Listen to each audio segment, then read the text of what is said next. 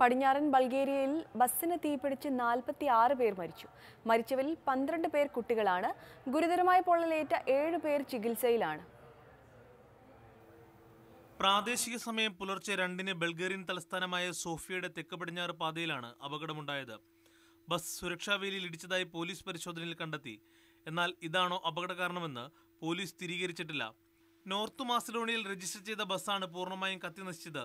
തുർക്കിയുടെ തലസ്ഥാനമായ ഇസ്താംബുൾ സന്ദർശിച്ചു മടങ്ങിയ വിനോദസഞ്ചാരികളാണ് അപകടത്തിൽപ്പെട്ടവരിൽ ഭൂരിഭാഗവും. നാലു വയസ്സുള്ള ഇരട്ടക്കുട്ടികൾ ഉൾപ്പെടെ നാൽപ്പത്തിയാറ് പേർ അപകടത്തിൽ മരിച്ചു. ബൾഗേറിയൻ ആഭ്യന്തരമന്ത്രി ബോയ്ക്കോ റഷ്വോവ് അപകടസ്ഥലം സന്ദർശിച്ചു.